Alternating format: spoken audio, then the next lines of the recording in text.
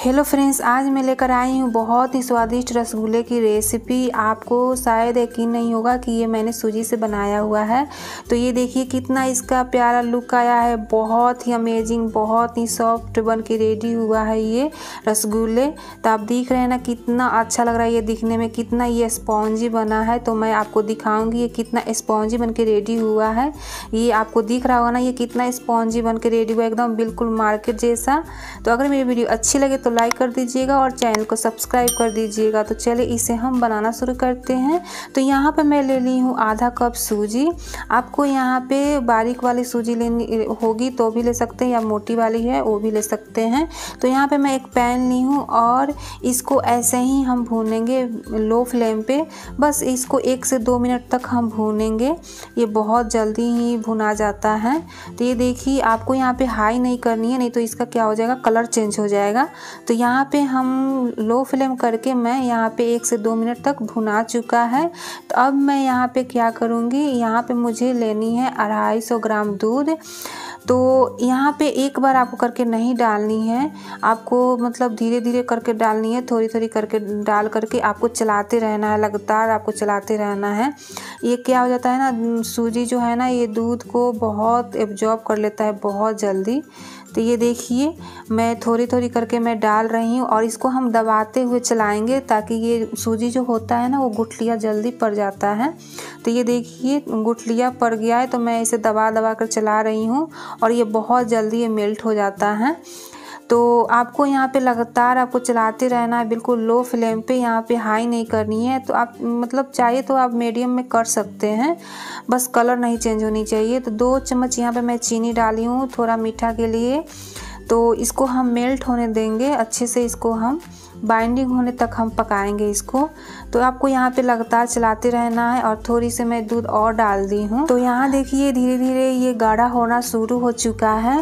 Friends, ये मिठाई बनाना बहुत ही ईजी है। आपको यकीन नहीं होगा कि ये मैं सूजी से बनाकर रेडी की हूँ और खाने में बहुत ज़्यादा टेस्टी और ये मैं दूध ली थी ना, ये फुल क्रीम दूध में ली थी मतलब उस पर से मलाई में नहीं हटाई थी।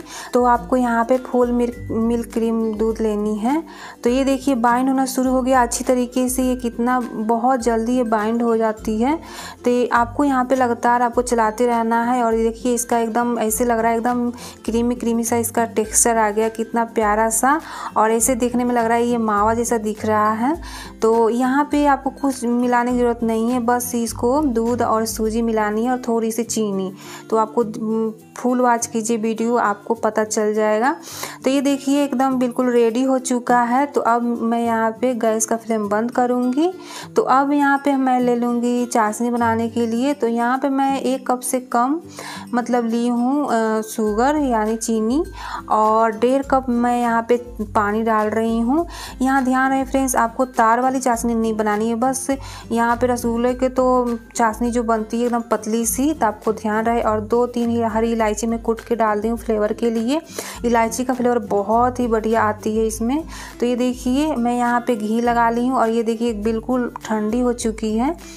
तो अब मैं इसको थोड़ा सा मसल लेंगे अच्छे तरीके से और मसलने के बाद, और ये मसलेंगे ना तो ये थोड़ा चिकना हो जाएगा, बहुत ही अच्छे से ये चिकना हो जाता है।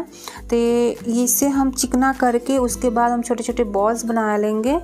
तो ऐसे हम चिकना कर लिए, हाथों में ज़रूर घी लगा लीजिए या ऑयल लगा लीजिए। तो अच्छे से ये बॉल्स बन जाता है। तो ये देखिए मैं यहाँ पे बॉल्स बना रही हूँ बहुत ही आसानी से। ये देखिए कितना प्यारा सा बॉल्स बन के रेडी हो चुका है। तो मैं ये आपको फिर से एक और बना कर दिखा रही हूँ।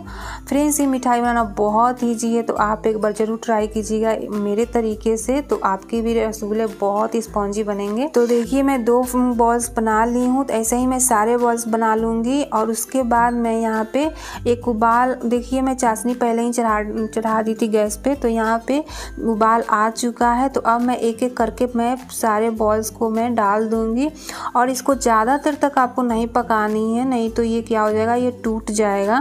तो आपको यहाँ पे ध्यान रहे कि यहाँ पे आपको low to medium high flame करनी है और इसको अच्छे से इसको उबाल आने देंगे और धीरे धीरे मैं यहाँ से देखिए, मैं चला रही हूँ। चम्मच से मैं अच्छी तरीके से मैं यहाँ पे थोड़ा हल्का हल्के से मैं हिला रख के चला रही हूँ ताकि ये टूटे नहीं। तो ये देखिए कितना प्यारा सा इसका उबाल आ चुका है। तो अब दो से तीन मिनट तक मैं और पका लूँगी। और ये देखिए बिल्कुल रेडी हो चुका है बन करके। ये आपको दिख रहा होगा ना, कितना प्यारा लग रहा है देखने में। मुझे तो बहुत अच्छा लग रहा था देखने में और खाने में। बहुत ज़्यादा ही टेस्टी तो अब यहाँ पे देखिए मैं बन के रेडी हो चुका है। तो अब मैं यहाँ पे दे मतलब डाल रही हूँ एक बाउल्स में। तो ये देखिए, आपको दिख रहा होगा ना, आपको यकीन नहीं हो रहा होगा ना, ये सूजी से बन के रेडी हुआ है। तो ये देखिए लुकिंग इसका कितना प्यारा आया है और ये कितना प्यारा सा दिख रहा है ना। तो अभी ये गर्म है, आप ठंडा करके आप सर्व कर सकते हैं, बहुत ही स्पॉन्जी तो अगर मेरी वीडियो अच्छी लगे तो लाइक कर दीजिएगा और चैनल को सब्सक्राइब कर दीजिएगा। तो मिलते हैं नेक्स्ट वीडियो में नई रेसिपी के साथ। तब तक के लिए bye bye and take care